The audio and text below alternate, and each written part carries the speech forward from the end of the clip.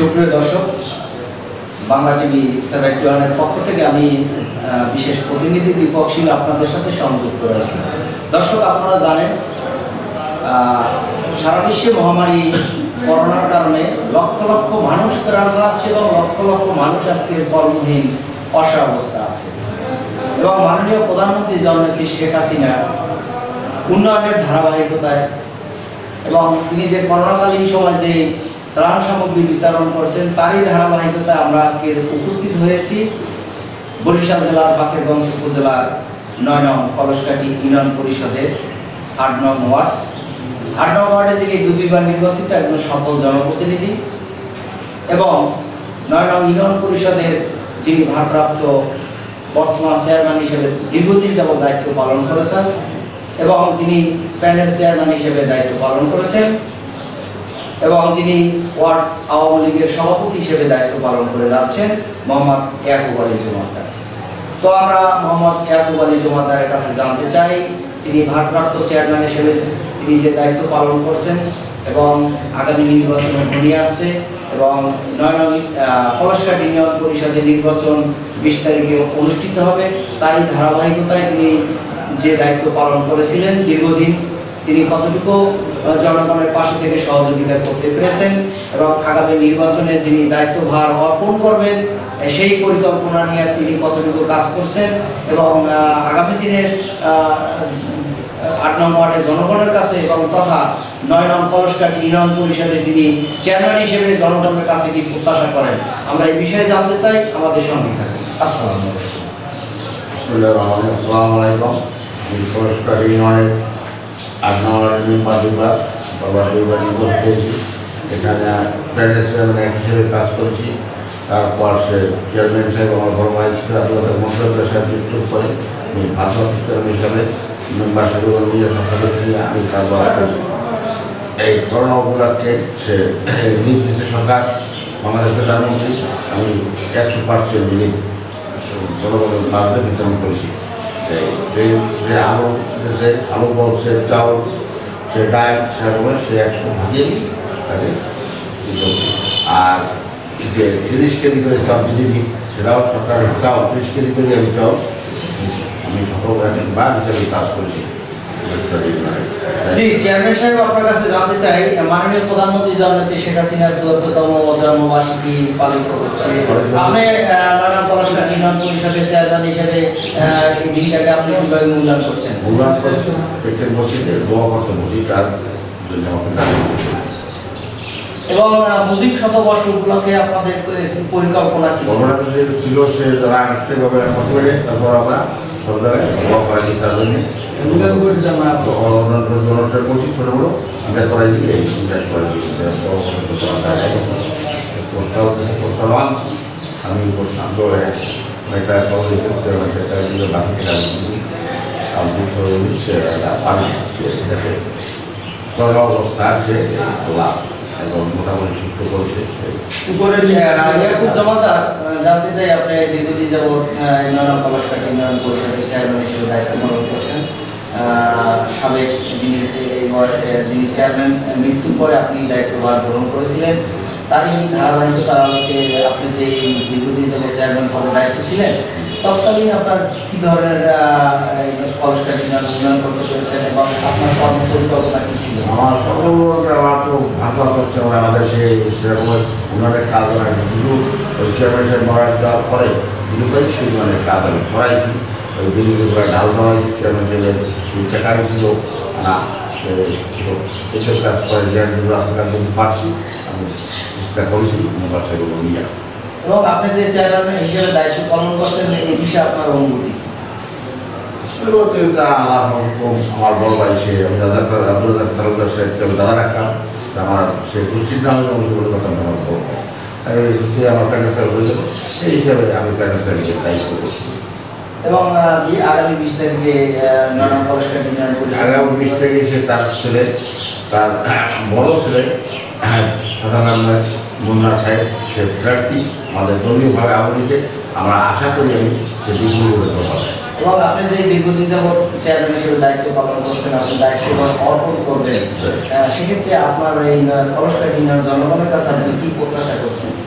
সে বলছে কারণ মানুষ আমাকে এখন ভালো করে আর আমি যদি খালি দিই, তখন আমাকে খারাপ লাগে না ভালো লাগবে যে সে উনি দুজনই পরিস্থিতি চেয়ারম্যান করছে সে রক্ষা করেছে আমি কোনো খারাপি চাউল খাই নাই ডাল খাই নাই টাকা খাই নাই এই।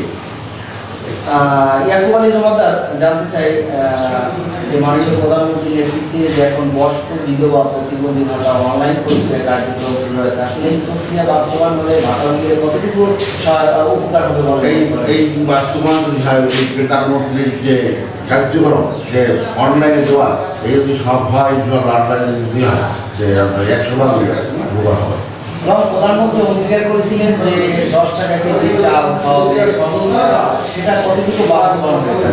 আমাদের সেই খরচকার নির্মাণে ওনার পঁচিশশো কাঠ পাবেন আমাদের খরচকারীরা প্রত্যেক বছরই মোটামুটি পাঁচ মাস দিতে। এই বছর দু হাজার উনিশ বিশে কথা সাত মাস করবে আর করবে কি করতে পারবে কি পারবে আমি সে পারি যে বর্তমানে সে জি ধন্যবাদ।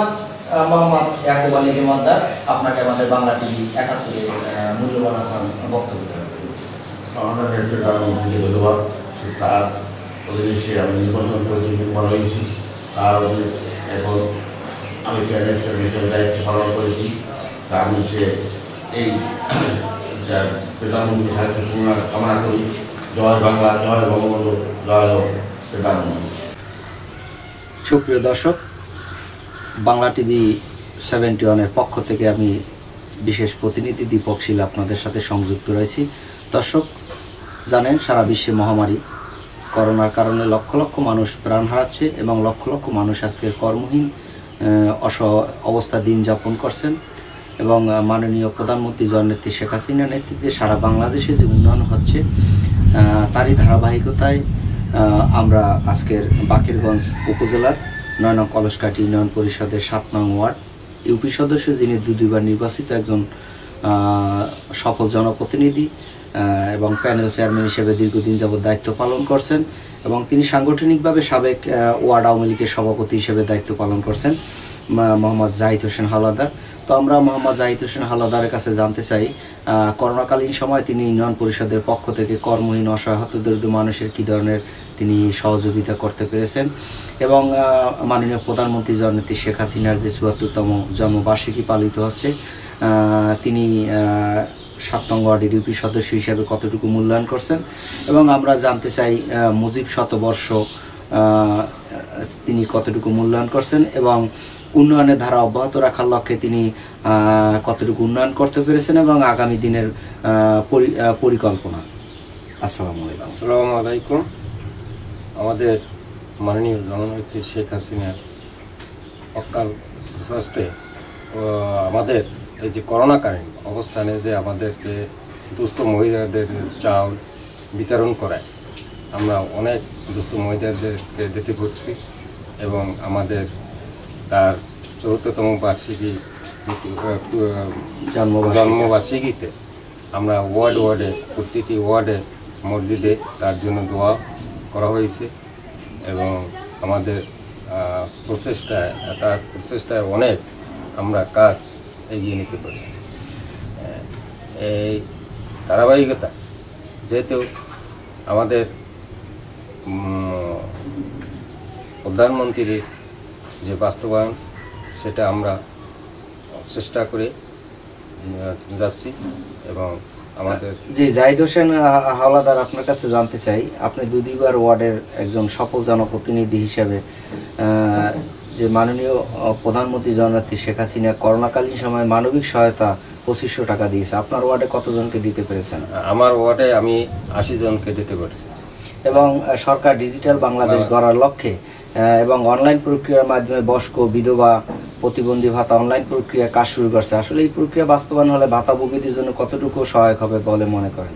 আমাদের প্রধানমন্ত্রী যে অনলাইনে ভাতা ভুগিকে যেভাবে সহযোগিতা করতেছে তাতে তৃণমূল পর্যায় থেকে তাদের অনেক সুবিধা হবে এবং তারা ভালো আহ, ই হবে উপকৃত হবে। তার উদ্দেশ্যমূলক ভালো এই উদ্দেশ্যটাকে আমরা তাকে সাবুবাদ প্রধানমন্ত্রীর অঙ্গীকার ছিল দশ টাকা কেজি চাল খাওয়াবে সাধারণ মানুষকে। আসলে সেটা কতটুকু বাস্তবায়ন হবে সেটা বাস্তবায়ন আমরা আমাদের ইউনিয়নে পঁচিশশো লোককে আমরা দিতে পারছি এবং তারা উপকৃত হয়েছে।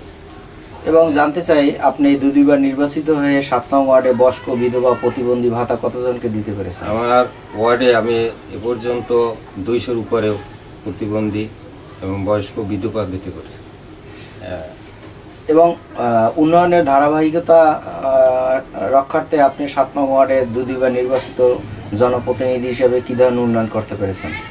আমাদের উন্নয়নটা আমাদের তৃণমূল পর্যায় থেকে আমাদের ওয়ার্ডে এবং রাস্তাঘাট এবং মোটামুটি আমাদের কিছু করতে পারছি বেশিটা একটা করতে পারিনি।